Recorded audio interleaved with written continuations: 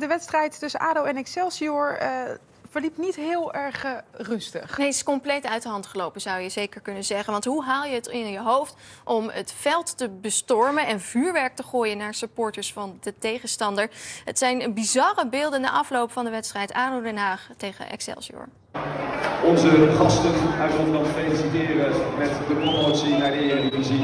Laten we het hoofd koel houden en normaal doen, dames en heren. Het was een krankzinnige wedstrijd. De ene keer leek ADO te promoveren, dan weer Excelsior. En uiteindelijk verloor ADO na strafschoppen. En toen liep het dus compleet uit de hand. Eh, ADO-hooligans die bestormden het veld. Ze gooiden met vuurwerk. En de ME moest ingrijpen om het veld uiteindelijk eh, schoon te vegen. Later ging het buiten het stadion ook mis. Ook daar ongeregeldheden en charges door de ME. Supporters bekogelden de politie met bakstenen en andere voorwerpen. En zeker vier agenten zijn gewond geraakt. Dat zijn in ieder geval de laatste berichten die wij uh, hebben gehoord. We hebben nu verbinding met Jan Struis van de Nederlandse Politievakbond. Goedemorgen. Goedemorgen. Ja, wat zijn uh, volgens u daar de laatste berichten over, over gewonde agenten bijvoorbeeld? Nou, het zijn er minimaal vier. Het worden er meer. Uh, uh, fenomeen is dat er weer heel zwaar vuurwerk is gegooid. Dus we weten pas uh, de komende week of dat oorproblemen, oorsuizingen gaat geven. Dat duurt altijd wat langer. iedereen is nog druk bezig met het papierwerk. Er zijn hier en daar nog wat, wat kneuzingen die nog niet formeel gemeld zijn. Nou ja, kortom, uh, iedereen is druk om een overzicht te maken. En er zitten ontzettend veel arrestanten vast. Dus het is een drukte van belang momenteel. Ja, wat voor impact heeft dit nou, zo'n avond, op uh, de politieagenten die daar gewoon hun werk doen?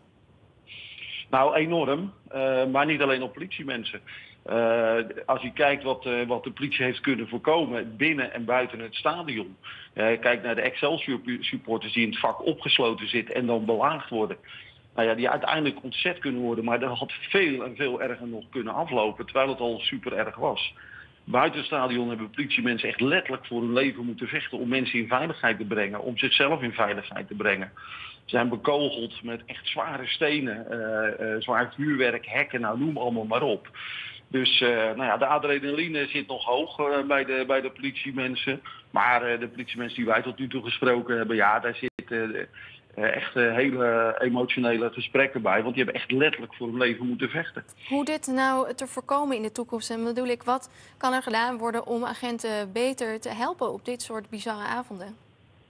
Nou, dat doen we al heel veel aan. Hè. Misschien nog niet genoeg. Met name de lange termijn, de, de mentale blessures. Het is niet één wedstrijd. Hè. Het, is, het zijn meerdere wedstrijden of demonstraties. Of, nou, we hebben een ontzettende drukke jaar, twee jaar achter de rug met corona. Maar ook het, het, het, geweld bij de, bij de voetbalvelden is volledig terug. Dus uh, uh, we hebben dat bij meerdere wedstrijden gezien. Ja, en de mentale zorg en de fysieke zorg uh, bij de politie, die vraagt ontzettend veel aandacht. Ja. Maar wat ik nog ook even ernstig vind, is dat het, nou, de grenzeloosheid waarmee dit geweld elke keer wordt toegepast, ook gisteravond en vannacht weer. Ja, dat is echt een zorgwekkend maatschappelijk probleem. Absoluut, zorgwekkend. Dank Jan Struijs voor uw toelichting. Ja, meneer Asmani, we hebben natuurlijk in coronatijd veel wedstrijden gehad zonder publiek als u dit ziet? Zou dat dan misschien slim zijn om daar weer mee verder te gaan? Nou, er staan, schat ik in ook heel veel mensen op die tribune die gewoon sportief naar een sportwedstrijd aan het kijken zijn. Maar het is meestal ja, een groep die, uh, die de boel uh, loopt te verstieren. En het is natuurlijk niet de eerste keer dat zoiets uh, gebeurt. Ik schrik wel van deze beelden. Het is echt vreselijk om te zien. Ja, wat mij betreft, uh, mensen moeten gewoon een stadionverbod krijgen, die hier de voorzaken van zijn. Alle schade, uh, ook de politie inzet, dat betalen we met elkaar. Uh, als belastingbetalend Nederland. Dat mag wat mij betreft ook verhaald worden op deze mensen. Uh, en hoe ze dat doen, uh, het interesseert me niet. al het geld moet terugkomen. En zo niet, dan gaan ze de bak maar in ook, daarnaast. Ja, dit kan echt niet. En ook geweldpleging tegen politieagenten. Zij die de vrede moeten bewaren. ja, mensen, die Excelsior supporters die daar ja, vastzitten ja, het, is ongelooflijk dat zoiets gebeurt. En dat kan niet zonder grote consequenties wat mij betreft.